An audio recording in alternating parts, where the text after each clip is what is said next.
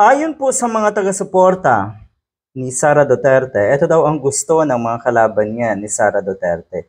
Ang ilibing. ang ilibing ang vice president. Anong ibig sabihin ng ang ilibing? Ililibing daw. Gusto daw nilang ilibing at ibaon etong si Sara Duterte. Paano? Hmm. Vice President po si Sara Duterte. Natural lamang na um, nasa mata lagi ng publiko ang isang ito, na second highest leader of our country. At yung kanyang mga kilos at gawi, natural lamang po din na mapansin. Ang gusto niyo kasi, mapansin lang yung mga mabubuting ginagawa kuno kung meron man na itong Vice President. Tapos yung mga hindi maganda, mga negatibo, nakaramihan talaga ay negatibo nga ang lumalabas. Ano ibig sabihin, Hmm, lamang ang mga negatibong bagay na ginagawa nitong Vice President kaysa sa kakarampot na positibo. Ang gusto niyo yung mga positibo lang ang makita niyo. Hmm? At nagbubulag-bulagan ang karamihan sa inyo. Kahit negatibo na, tinotolerate pa rin. Ang tingin niyo pa rin ay mabuti. Ganyan po ang nangyayari. So eto, heavily criticized nga daw itong si Sara Duterte sa social media dahil sa kanyang personal trip. At nagkataon nga na may bagyo, kasagsagan ng bagyo. Heavily criticized. Yun na yun? Yun na yun? Talaga lang? Meron kayong idea kung paano nyo binanatan? Si Atty. Lenny Robredo, kayong mga diehard? Tapos eto, lumabas lang sa social media na nag-travel sa kasagsagan ng bagyo etong sa Sara Duterte. Duterte, heavily criticized na. Nakakatawa. Pati daw yung naglabas nga ng picture na yon uh, na nasa airport ang isang ito kasama ang kanyang family ay dapat daw managot at kasuhan. Talaga lang?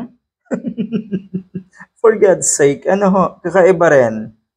Hmm.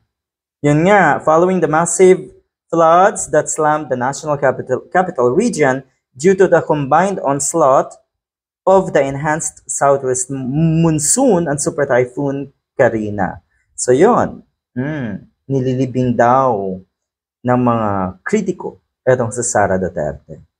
Gusto nyo kasi, yun nga, ayaw nyo talaga. Allergy kayo sa mga kritiko. Kasi ang tingin nyo sa sarili nyo, lahat ng ginagawa nyo ay tama. Pero yun nga, kadalasan ay kabaliktaran. Alam ng admin na ito na aalis si VP.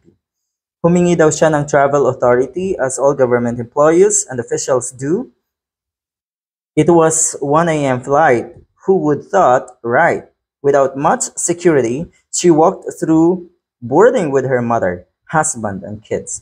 Personal pala eh. Alam niyo palang personal eh. Tapos sasabihin niyo, without, ano daw? Wala daw security. Without much security. Personal eh. O di kumuha kayo ng mga private army niyo kung meron, siguro naman meron. Ano ho? That was private. This is exactly what they want. Bury, bury the VP. Because they have, uh, for two years, orchestrated the demolition and she keeps standing up. Again, like a phoenix. Hmm, tignan nyo, ang inakusahan pa na nagpaplano ng demolition job or gumagawa ng demolition job laban kay Sara Duterte ay yung kuno ay mga kalaban nga niya. Hindi ba't hindi ba't siya mismo, kayo mismo mga taga-suporta ni Sara Duterte ang sumisira sa kanya at siya mismo? Tapos sasabihin niyo demolition job. Sino ba ang nananawagan ng Marcos resign? Sino ba ang nananawagan na ibagsak ang administrasyong ito? Sino ba ang dumidistansya sa ating gobyerno? Hindi ba si Sara Duterte?